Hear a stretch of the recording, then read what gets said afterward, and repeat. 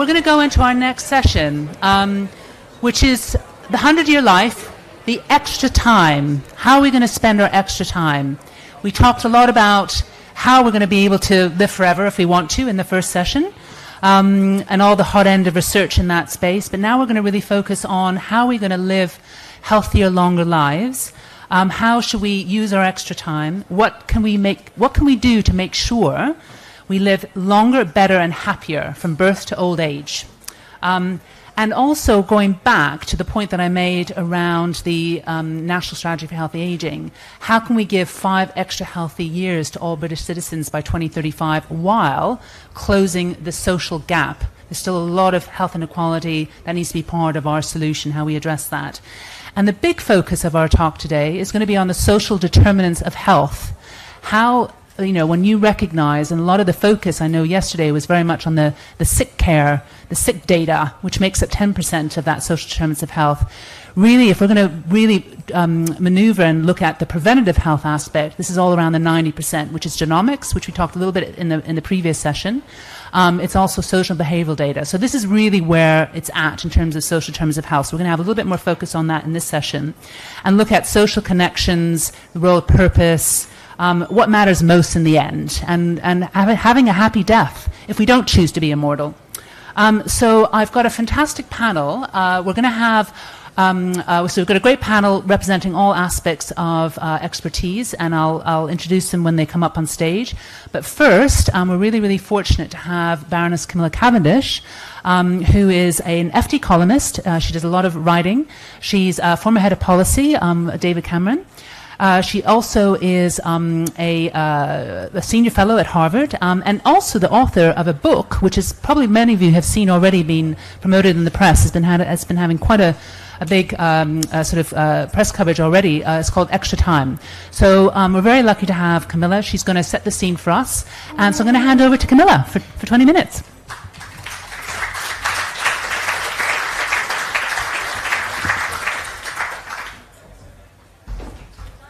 Very much, Tina. Can you hear me at the back? Yeah? So, about a year ago, I was sitting in the office of Professor David Sinclair at Harvard Medical School, and we were talking about some of the amazing discoveries that he's made uh, in terms of gene therapies. Um, he's one of the scientists who's actually managed to double the lifespan of mice, and some of what he's doing is clearly not just increasing life expectancy, but improving that last decade, improving the endings, and reducing what sort of that sort of ghostly half twilight of senescence that really we all want to avoid. And David was talking about the fact that he'd just been at a drinks party with Harvard donors, most of whom were very skeptical.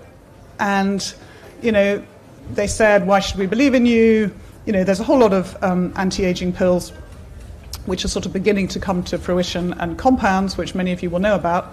A lot of skepticism, but afterwards they were all privately saying, Tell me what to take. And I realized then that I think getting ahead of aging is now the new status symbol, and I think there's going to be a lot of money in it. But getting it right is going to be really important. And we need to make the possibility available to everyone which David Sinclair feels very strongly about, and so do I. So we're going to talk a lot in the panel about how technology can, can help with some of this, but also we're going to talk about the inequalities that we need to avoid. So I think we're on the cusp of some really radical changes in terms of jobs, in terms of education, in terms of health, and it's very exciting. And my interest actually is not in living longer. I mean, I think you talked earlier about some of the Silicon Valley billionaires who are trying to achieve escape velocity from death. Uh, fascinating concept, but my personal interest is basically in trying to improve that last decade. And in order to write this book, I've been to a whole lot of different countries to try to find people who are helping to do that. And I wrote the book, I started writing the book uh, two years ago after my father died. And he was someone who on his 50th birthday, suddenly said to me, I just think everything's over. And we were sitting in Cornwall on this cliff, which was his favorite place to be, and I was very small, I was pretty young. and I thought 50 is older than I can imagine. But he really felt that everything was over. And from that point on, he started to say things like, oh, I'm a bit too old for that, can't try that.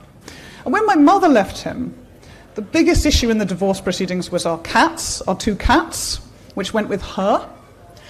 And my father didn't get another cat, although he missed them desperately because he kept thinking, well, I don't know how long I've got. And, you know, if I had a cat, it would be left homeless. And who would I give it to? And he lived till 86 in really, really good health, and he never had cats to keep him company. So after he died, I started thinking about that and thinking about how often age becomes a barrier. And I called the book Extra Time because actually, what all the evidence now shows is it's not old age that's getting longer, it's middle age. And we are now looking at a large period of healthy, productive extra time in many of our lives that the institutions are completely unaware of and have not caught up with. So, one in four Brits and Americans is now unretiring. They're going back to work, sometimes five years after they stopped. Some for financial reasons, quite a lot because they really miss the camaraderie, the sense of purpose, and the connection we found 70 somethings who are runners and cyclists who are biologically 30 years younger than their chronological age because they have been exercising continuously and doing aerobic exercise for a long period of time. And we're seeing the instance of dementia actually falling by a fifth over the last 20 years in some countries. That doesn't mean that obviously dementia isn't a major problem we have to tackle because we've got more old people but the, the individual risk of dementia is falling, and that's really good news. And the Japanese have a word for this group. They call them the young old. Young old in Japan is from 60 to at least 75, sometimes older. And their doctors and geriatricians do not look at that group of people in the same way as they look at the old old, who are frail and who do need care and, and our help. And there are plenty of people I've interviewed many of them for the book. The world's oldest stewardess in America, for example, who's 82, who is still flying the uh, Boston to Washington shuttle on a daily basis. There are plenty of people out there who are living examples of extra time and who are lucky, in her case, to have employers who really believe in them. But too often, we don't value that wisdom and experience that older people bring.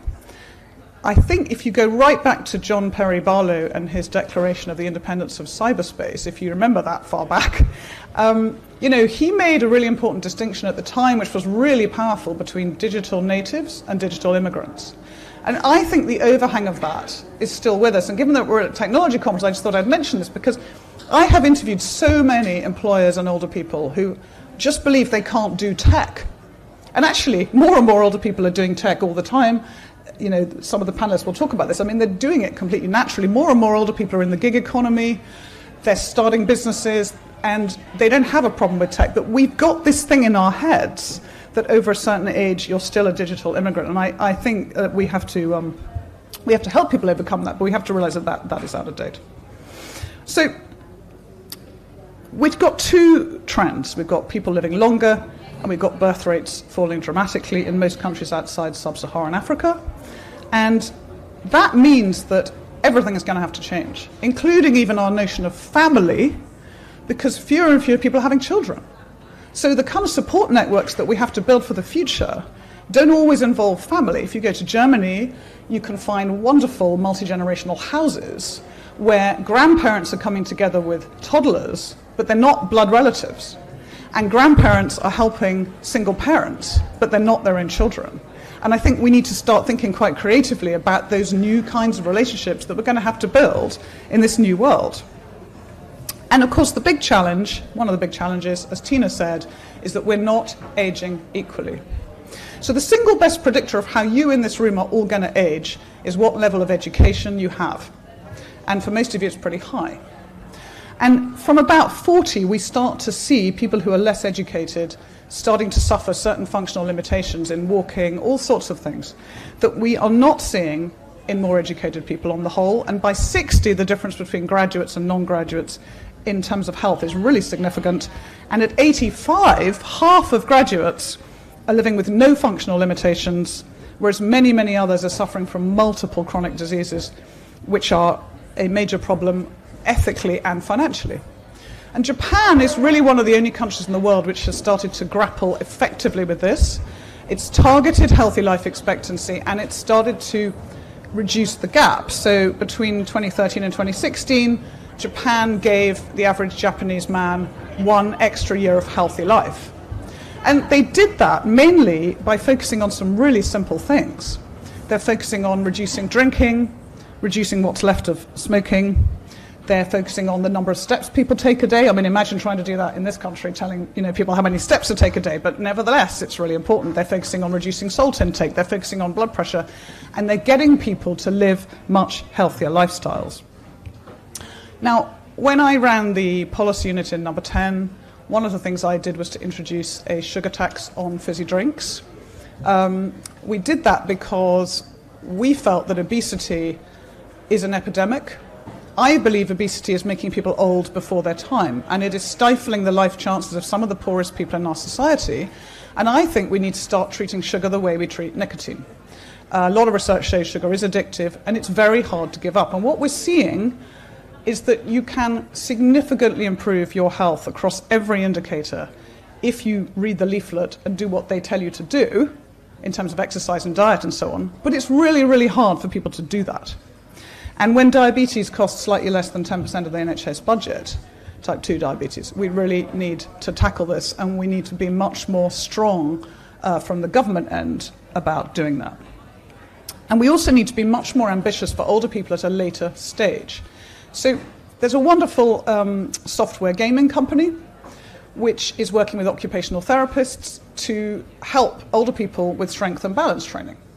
Right? So strength and balance training sounds very dull, but it actually can make the difference between someone being in a care home or being independent. And you can improve someone's strength and balance at almost any age. And these guys have a wonderful program which involves things like, you know, they've got a, an auction program where you can bid if you stand up They've got a piano program where you can change the keys by standing up and sitting down. These things are phenomenally powerful because they are visual, they are using proper gaming technology, and they're able to, to sense where people are in the room. There's lots of very clever initiatives like this, but they are not breaking through into the wider NHS. Take neuroscience as another example. So, for years and years, we thought the brain wasn't plastic beyond a certain age. We now know that it remains plastic forever we know that you create, your brain creates more new brain cells all the time. The big question is how do you incorporate those brain cells into the functional circuits of the brain long term? And that gets harder to do as we get older. But what the research is showing is that older people can still learn at all ages. They learn differently to younger ones, and they need to keep learning because unless you keep challenging yourself, really challenging yourself, not just doing crossword puzzle, your brain does not incorporate those cells into the functional circuits. A lot of experiments being done out of La Jolla and other places on rodents which have shown these shown this has been really effective. And again, we need to start understanding there's a huge market for brain training apps. Some of you may be creating them. Some of them have very little science behind them, but there are a few which really work. There are a few which seem to have really proven science. Speed processing is one of them. Again, you know, the regulators have been a little hazy about that. They're not ready quite yet to go with it, but we need to start looking at those things because actually some of those things are going to make a fundamental difference to people's health. But we need to start signaling to people which are the things that work and, frankly, which are the things in which they could waste a lot of money on. So, I guess there's a, there's a, a few areas where technology can really help with this. But on the whole, it, for me, it's technology plus people. So a lot of what I look at, and I've looked at in the past, is caring, compassion, nursing, all that, which is very human. Um, and it seems to me that most of the things that we're going to be talking about here are incredibly useful technology and data, but they've got to be used, it's technology plus teamwork, if you like. So AI, faster diagnosis, we all know about that. We've got to start retraining doctors to be able to translate that, to explain to people about probabilities, to have the EQ, if you like, to start grappling with that data. Most people don't understand probability. If you say to most people, well, you know, I've discovered that your susceptibility to this disease is X, it's going to be very hard for most patients to understand what that means. That's a huge challenge. There's wonderful equipment out there. I mean, I spend a lot of time in Japan, and I do think that there are some marvelous robotic solutions to some of this. The Panasonic bed, for example, which is a wheelchair that turns into bed, is just marvelous. Um, the exoskeletons that help people lift are marvelous. The companion robots are fascinating because they do seem to be able to connect to people with dementia. And it's quite clear that older people will follow a, a robot like Pepper in a series of exercises where they won't follow the human physiotherapist who's standing next to him. So there are some really interesting things that are going on. But we need to do this in conjunction with, with human beings because I think there's the risk of this is that we're creating marvelous surveillance systems which will allow more and more of us, frankly, to remain 200 miles away from our parent and occasionally check the CCTV and be able to see if they've lifted the kettle. Uh, but you know, we still are going to have to drive there when something goes wrong, and I, I think we need to start talking about that challenge as well. So, one story just to illustrate this, and I'll, I'll, I'll finish quite soon. Um, BMW, the car company, about 10 years ago realized that it was running out of skilled workers because obviously we all fear automation. But one of the things that aging populations are doing is, is, is creating labor shortages, shortages of skilled labor. It's actually quite a good time to be in your 50s or 60s because people are going to need those jobs. BMW didn't want to lose its skilled workers. Creating um, luxury cars is a really, and assembling components is a really skilled job. They created an older workers' production line where the average age was over 50, which in, in car manufacturing is quite old. And everybody ridiculed this. They said, oh my God, what are you doing? Even the guys on the production line didn't want to be singled out as old. They did workshops. They asked them how they could help them to work better. They made 70 small changes. I mean, everything from magnifying lenses to better lighting to different kinds of chairs. Quite cheap. The results were astonishing. So productivity went up by 7% on that line. It became the most productive line in the factory. Absence rates fell by 5% to, I think, about 2% and the number of defects fell to zero. Now, that story is often told as a story about technology. It's told as a story about exoskeletons and all the kind of things that, that they did to physically help people. I think it's also a story about belonging. It's also a story about telling those workers that they were valuable, asking them what they thought, and saying, You have a future in this company. So I just think, you know, before we, before we rush to adopt all the technological solutions, we need to also have the story that goes with it. So I went to a care home in Holland about a year ago, which was most care homes, if you've been to any, uh, Max has here, I mean, they're fairly depressing places. This was in a really awful concrete block. It looked terrible from the outside. Inside, it is one of the most inspiring places I've ever been because it has eight university students who live there with the residents. It has some robots. It has a gym and the residents go up to 100 and they're still using that gym. And it's very, very ambitious for people. And one of the students I interviewed, he said, Well, the thing that's changed for me is that since I came here, I no longer see these people as old. He'd made great friends with a woman called Marty, who was 91. He said, I don't see a 91 year old woman anymore. I see my good friend who has many different parts to her life. And of course, that's what happens when you start to break down barriers. But one of the most interesting things that care home had done, and by the way, they didn't have any different budget to anybody else, they just decided to treat people as neighbors rather than residents. They call them neighbors. They used to have an application form which had 100 questions on it when you wanted to join. They've recreated that form and they've only got three questions. And the questions are these Number one, who are you? Number two, who were you? Number three, who are you going to be? Now, imagine asking that question of anybody over 50, let alone people over 70. And I mean, this home, the average age is, is 80. That puts a completely different spin on their ambitions for these people. And I think that's something we need to do more generally. Around the world, there are quite a lot of examples of where elder people have lived much healthier lives and much more fulfilling lives because they've had a sense of being needed all the research shows if you have a sense of purpose, if you feel useful, it actually translates into better health. And in this country, we do a lot of sort of nice tea parties, but we don't always remember to create tea parties with a purpose. So if you go to Japan, you go to their silver centers, you find incredibly old women sitting around tables making things for local businesses.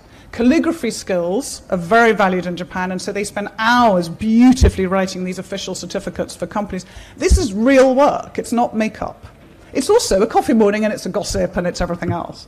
But there are 95 year old women who will take two buses every day to get to that centre because that is what gives them a sense of purpose. And I fear that's something that we have lost in this society because we don't really value wisdom and experience. And I'll leave you with one last story. Um, in Zimbabwe, a psychiatrist called Dixon Chibanda realized a few years ago that he just didn't have enough resource. I mean, he's in a huge country with terrible emotional, psychological problems. He's one of a handful of psychiatrists, and one of his patients killed herself. And he rang the mother and he said, Why didn't she come? She was supposed to come to the appointment. And the mother said she couldn't afford the bus fare to come and see you. And he then realized he had to take his practice out of the hospital into the villages. And he thought, well, who can I recruit? I need to recruit therapists for the villages. And he couldn't afford uh, professionals. So he tried a number of different types of people. And the people who were most effective were grandmothers. They had the empathy, they had the listening skills, they had the patience. And those grandmothers actually, in a randomized controlled trial, proved to be more effective at treating depression than the standardized hospital care in Zimbabwe. But even more interesting than that, the grandmothers themselves benefited because they ran a long term study looking at their own cognitive development, and lo and behold, found that the grandmothers were developing cognitively, felt more valued, and were a lot happier as a result. So I think that's just a, a way of saying there are a lot of aspects to how we achieve this extra five years of healthy life. And when all of you think about who you are going to be, and most of you have a very long way to go. I hope that part of what you'll think about is how can you start to make a difference to make our extra time worth living? Because we're all going to grow old. Hopefully, we're all going to have the extra time, but we need to work together to change our attitudes. Thank you.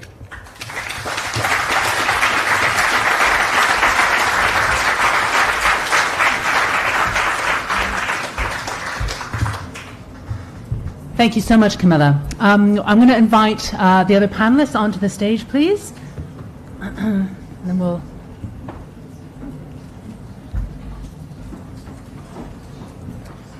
I don't know. I thought I was told to stay. Thank you very much. So make sure we've got water. Yeah. So uh, so Camilla has uh, set the scene for some really really crunchy issues, really. Um, on how we can uh, live our extra time, live a, a happier, longer life. Um, and you know some interesting themes around um, values around caring, empathy, connectivity, social connections, um, all these uh, purpose. Um, these are sort of themes that have come out. I'm just going to before we kind of go into questions, and I've obviously got a, a number of questions. Um, I just wanted to ask each and every one of you sitting on the panel, for you personally, what do you think is a secret to what will be your happy long life? Kate first. Okay, um, do I need? To, oh, I've got a microphone here. Um, okay, so I work on social and cultural impact of artificial intelligence. I'm an academic, and my area of expertise is actually sex and technology. And I'm going to actually say that I think the secret to uh, a longer life is is to have intimacy in your older age, and so not just to combat loneliness, but to have that connection with with other humans. Um, so that's going to be my answer: is sex. sex. well, sex in old age, definitely, yes. I can justify that in a moment. and everyone will, will, will, get a chance to learn a little bit more about Kate's research. Um, Camilla. Um, I was saying earlier, I was saying earlier to Kate that I avoided the topic of sex in my book because I just thought I can't, can't, can't handle that, that one. Um, I think it's activity. I mean, for me, the evidence is absolutely overwhelming about aerobic activity, and I, I just I think we ought to be more honest about that because I think a lot of people worry about diet but in worrying about diet, we're trying to avoid actually getting out there and exercising, and that's the sort of grim truth. Yeah. Laetitia. Yeah, so so for me, so I do I do work uh, around bringing emerging technology and innovation in and, and we have three projects running at the moment uh, with um, you know the older population.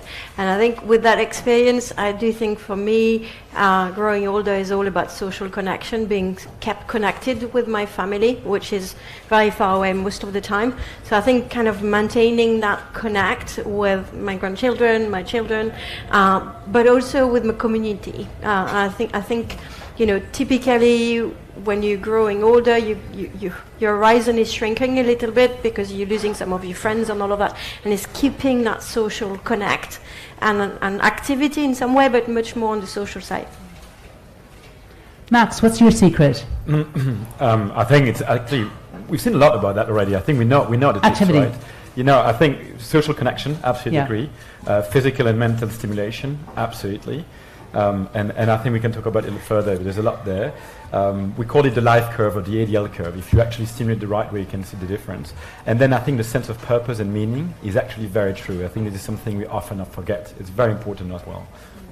So, just with these, um, I'm going to ask all the panelists. I know Camilla's had her chance on, as a keynote speaker, but with, all, with those key things, how, with the work that you're doing, and, and you know, I'll give you a few minutes just to go, go through in terms of how that comes how that's come through into, in your research or your, or your businesses. Kate, first. Right. So my research um, for the past few years has been around intimacy and technology and sex.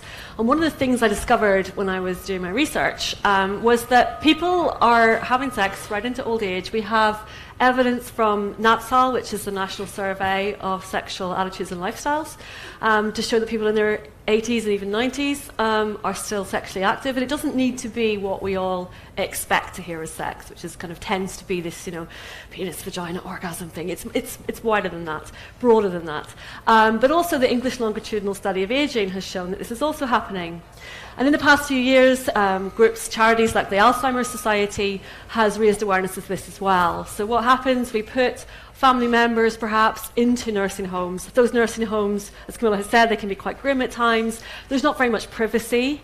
You know, they're in a single bed with a window in the door and no locks. They might be in with a partner, they might have lost a partner, they might be forming new friendships and relationships.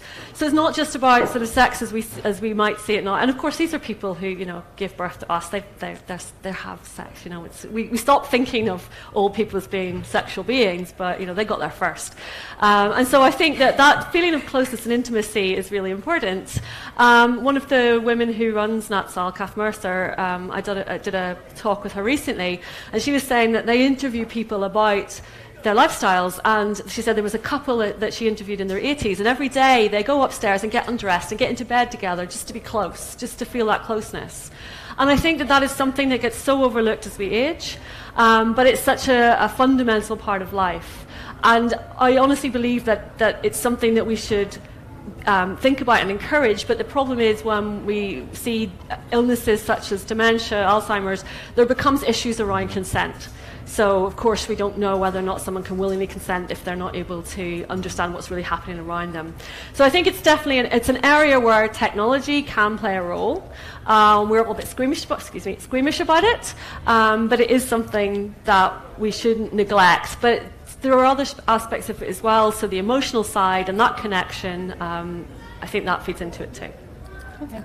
And uh, Laetitia, I know you're doing some amazing work with um, AI and Alexa and companionship, addressing loneliness, which is one of the biggest, ki- well, the biggest killer of, of older people.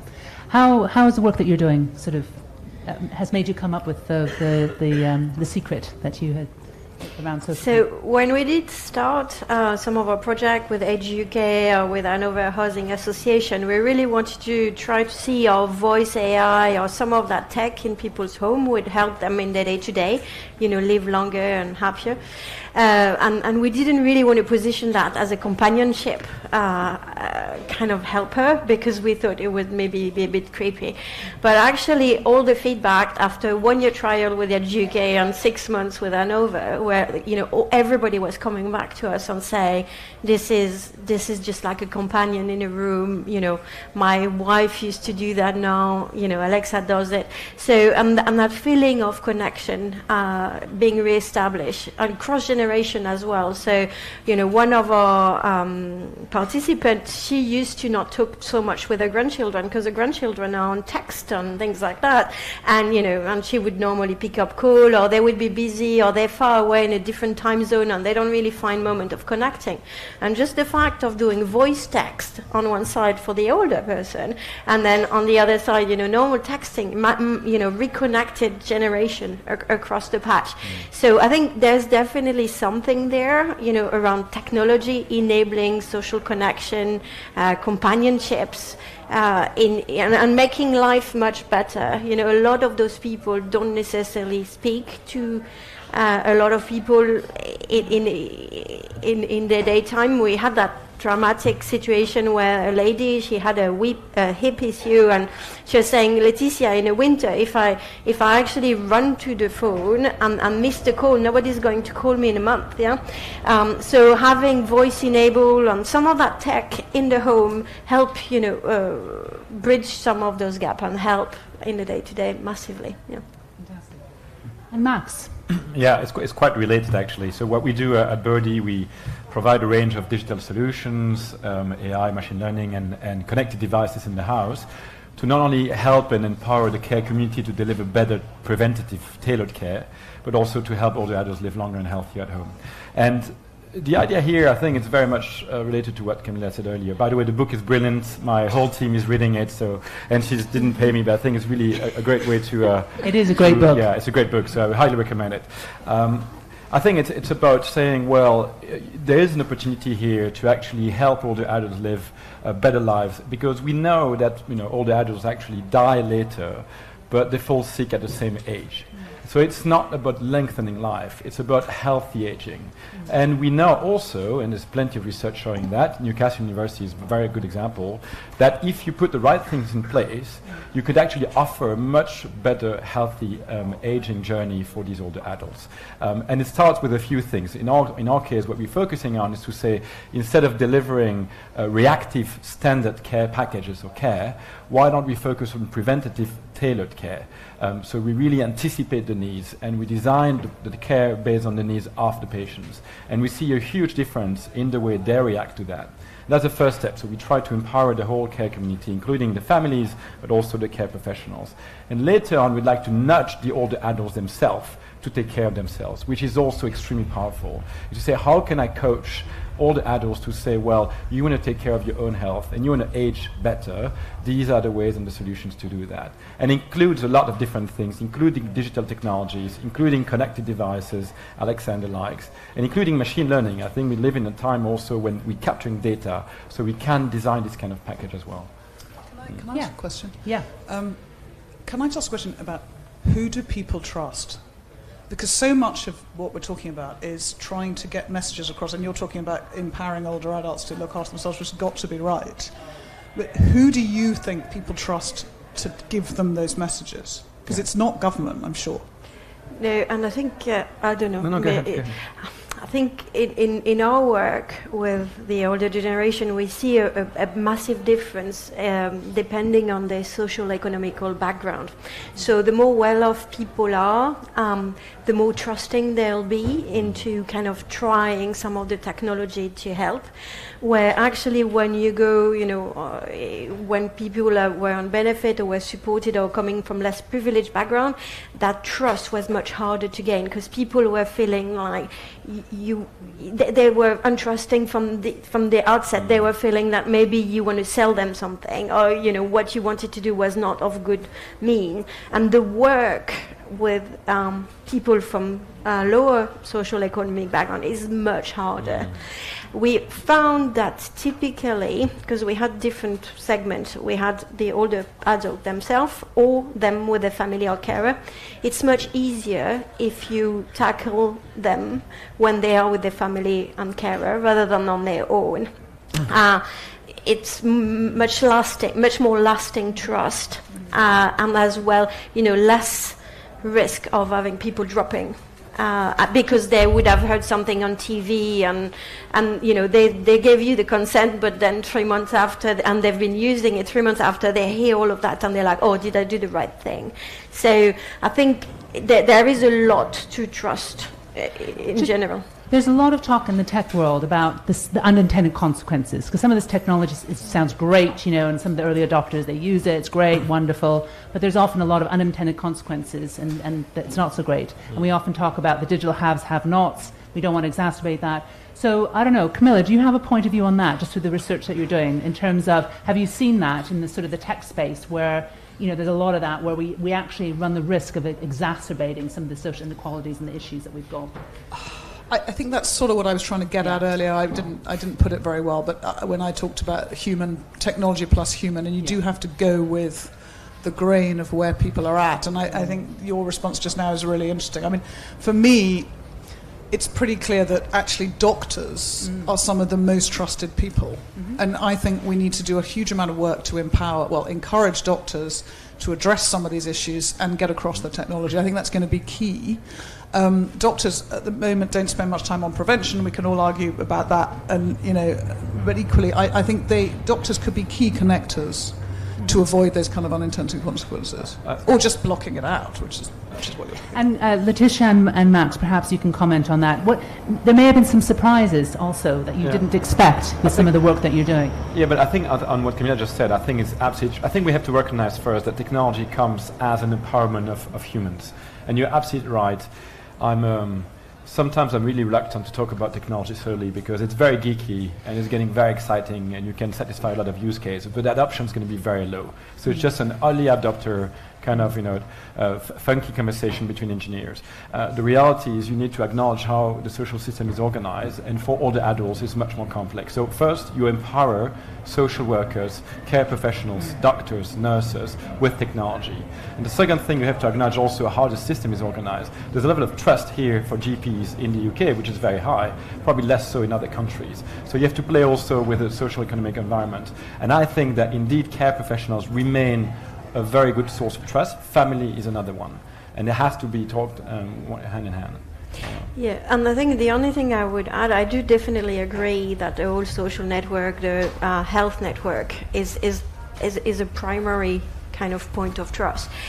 What I did notice, though, in some of our work is if that trust is established outside of the family loop, um, you know, typically it never extends yeah. because typically the older generation don't really want to share their health burden or some of their data, or you know, like they see they see some of their day to day as burden to their family. Mm-hmm. So if you don't start tackling it from the outset, it's very difficult to bring family in later on. And Kate, because I know your the thrust of your research is in the sort of human sort of computer yeah. interaction side. Have you got any comments on this research that's telling you, especially in this situation? Yeah, I think it's interesting. I think there's a couple of things, and, and one is um, around the divide, and as you know, sort of the bias in AI is a massive discussion point at the moment. and we run the risk of entrenching bias when we're not getting data from the right places. So unless we include the end user, um, that's going to we run the risk of, of, isolating people further. And I think in, certainly with the digital divide, there's a bunch of people out there who have no access to this tech and whose voices aren't being heard, and I think that's really problematic. And the other is that if we rely, there's the trade off that if we start relying more heavily on tech, are we then going to see cutbacks in healthcare where they say, well, we can offload that onto a machine now. We don't need to provide um, a carer if we've got a piece of technology that fills its place. So I think there's that risk as well. Can I say that there's yeah. also obviously the obvious issue of privacy. Mm. You had the DeepMind collaboration with Royal Free where some of the data leaked but that that also comes back to our role in the media. I mean, I'm a journalist, obviously. You know, that is partly about the media, and, and, I think the media haven't always been great at telling this story. So, you know, if you if you're one of those old people and all you read is, "Oh my God, they're going to take your health data and, and use it," you're not being given the bigger story. And how we tell that story about the power of data and the importance of clinical trials and all the, and genomics and all those things is, is going to be really important going forward. Well, and there's a the fake news is in health as well, and that's the problem. So absolutely. So um, so there needs to be a more there needs to be a more informed, grown-up discourse around this whole space. I think just generally.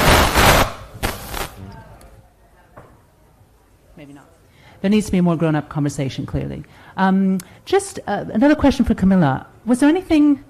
What were your biggest sort of surprises, or, or sort of you know things that you thought you know you had understood, but were really surprised you when you did the, did your research in your book? There are actually so many. Um, one of them, I think, would be in the brain, the space of the brain, where, I, as I said earlier, I talked to a lot of neuroscientists, and I vaguely knew that neuroplasticity, you know, lasts forever and so on. What I didn't realize is that we've got so far down the track of understanding which parts of the brain use memory and which parts of the brain decipher patterns, and that actually we can.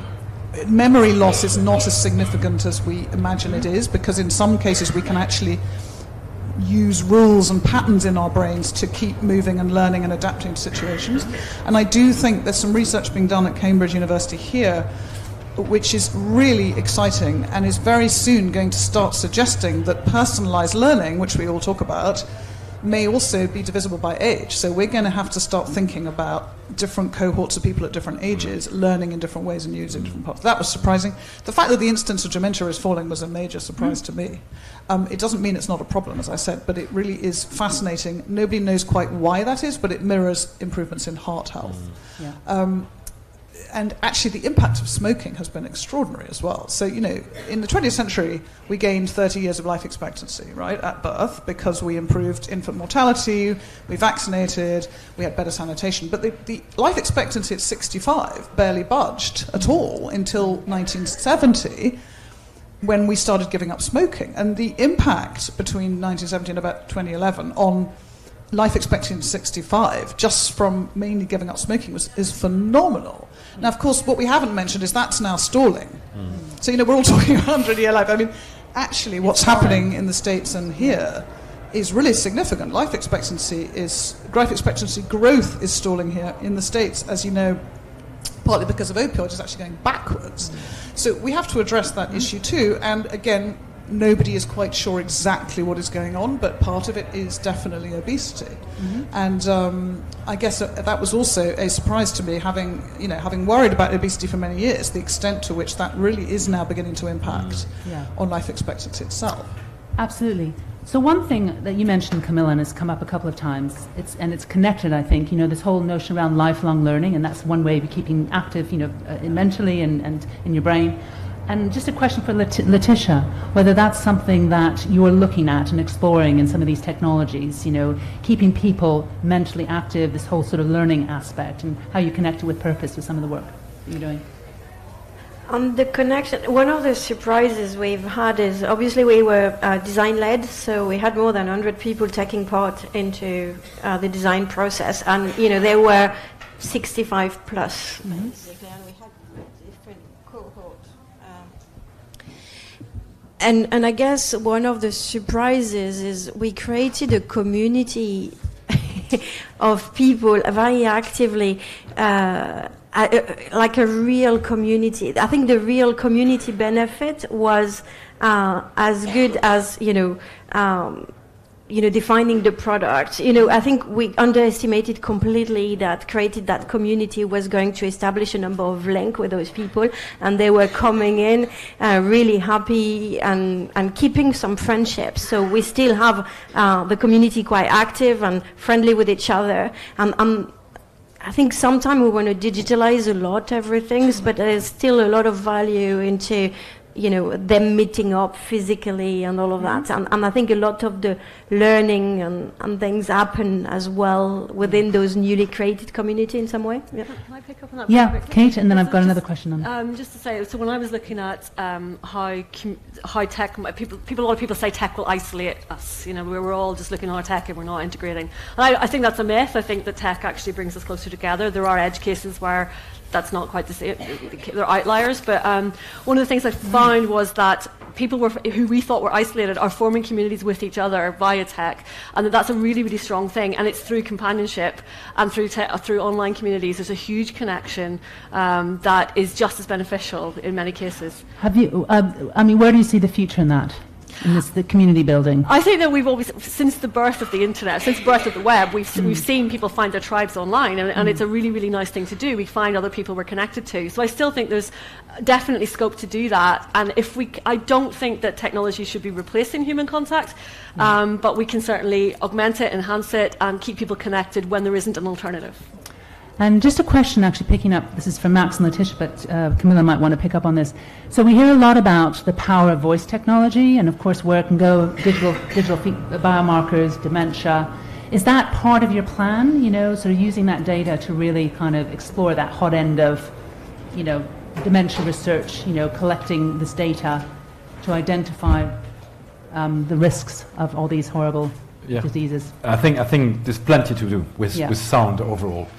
so we're looking at we're testing a couple of devices actually right now which is sound recognition to identify issues in the house. Mm-hmm. Um, so it could be chest infection, it could be urinary tract infection. Mm-hmm. So basically, we're more on the medical side of infection, saying, well, by the way she coughs or the way we identify her behavior, we know that there, there are maybe a couple of infections or medical issues. Mm-hmm. So that, that's number one on, on the prevention side, but it's already quite powerful. Mm-hmm. It's quite hard, but quite powerful. Then there's the interaction side. Mm-hmm. So indeed, nudging an older adult to interact with the machine, um, whether she talks to the machine and so on and so on, when she gives order to the machine.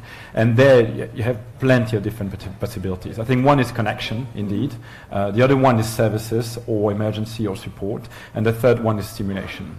Um, and, and really on, on three aspects there's a lot. On stimulation, I think you mentioned dementia, you can do a lot to identify early patterns of dementia just by the tone of voice. Mm-hmm. Um, and then you can actually stimulate and work with the patient to make sure that you reduce the, I mean, you lower the, the level of decline, if you wish. Um, and there's a lot of technologies out there already available. The question is how do you push them in the house? Yeah. yeah. And Laetitia, is that part of your Yes, the, well, we have a cohort with the NHS Essex partnership, uh, university partnership, which is actually dementia uh, group of people with early onset dementia and their carer. Um, and we definitely see that there is a lot of benefit into that type of technology. One other thing I wanted to say is voice is voice AI is definitely an enabler uh, for you know the aging population. But typically the, the normal Alexa or the Google Home would freak them out because there's just a little microphone in a corner and they would think there's somebody spying on them. We found much more successful to have a, a, a UI interface uh, as well as the voice. So we prefer the Echo Show or the new Google with a screen because actually the aging population kind of like that much better. But also we find that working on the vision and the sound as two combined channel is much more effective because typically, you know, they may have speed challenges um, which we, you, you actually can cover with the screen or vice versa. Um, and, and I guess this is just a much more complete uh, solution for them to be able to access some of the services you do offer. So, did you want to comment? well, there's a robot in Japan called RoboHon which is basically a, a, a, mobile phone on legs. Yeah. And it's it's brilliant because people relate. People find it much easier to relate to. It looks like a sort of small black and white cute monkey, and it's it's very interesting what you said. Older people have no problem with RoboHon sitting on their bedside table or sitting in the passenger seat of the car, where it will soon be able to warn you of oncoming obstacles. Mm. So I, I'm, I'm, we're running out of time, so I've got one more question which I'm going to ask all of you. Um, it strikes me, and you hear about the wisdom that we've accumulated over the ages, you know, get your sleep, eat your greens, get, you know, get out and get some exercise. It's almost like it's coming back in a, in a, in a different way. Um, so I wanted to ask you the question. I mean, is it going to be that, just listening to our grandmothers, or technology that's really going to give us those five extra years that we've been talking about in this national strategy for healthy longevity that we mentioned earlier. What do you think, Kate? I think it's going to be that. It's going to be the advice, but it's going to be helped by technology. So we can use the technology to help us achieve the goals rather than replace the things that we need to do. Okay. Camilla? Look, I think it's going to be both, but I also think back to the story I told at the very beginning about David Sinclair at Harvard Medical School, we have to start treating aging as a disease and that will unlock pharmaceutical money. It will unlock R and D because it will accept that actually, if we just combat one disease, we're only going to gain, you know, a couple of years. If we start to treat aging as a disease in itself, it unlocks huge possibility. Mm-hmm. Great. Laetitia? I also think it's both. Um, I guess my key concern at the moment is how do you raise awareness and scale all of this up, um, you know, in a equal way. I think the commercial sector has to do something. You know, as you go to, you know, your telephone provider to buy the latest iPhone or whatever tech, you know, why wouldn't you have something to kind of you know put in the in the house of your grandmother to kind of you know have a, con- a bit of connected home and subscriptions you know to help that healthy aging. I think we all you know it's not only the government and it's to do something. I think we as a society need to kind of start you know having those products commercially available so we can help the change because um, at the moment it's not going any fast. Max, what do you no, think? I, I, absolutely agree with what was said earlier. I think it's the same topic as healthcare. So yeah. basically, it's you have. I think it's really both. We are in charge, but like technology is helping us to have access to knowledge to everyone, and not only to the few happy. To actually have tailored knowledge. That means that knowledge is designed for me and tells me what I need to do, what, my, what my needs are. And then in a much better way, it's delivered in a much better way. In other words, you know, it's gamified. I can track it. I have full visibility. I'm nudged. And I think that's what technology does. The, the old-fashioned tips, but personalized with better access and better delivered. Yeah. Fantastic. So I think we've got a very good overview of what will, you know, help us live longer, healthier lives, and it seems pretty clear. You know, there is a role for, you know, government. There's a role for for business, certainly, and of course, there's a huge role for all of us as citizens to kind of, you know, listen to what our grandmother said and eat your grains. Um, so, yes, with that, I'd just like to um, thank you uh, to all our panelists, give a huge round of applause. We're going to have a meet the, the speaker session just at the back there.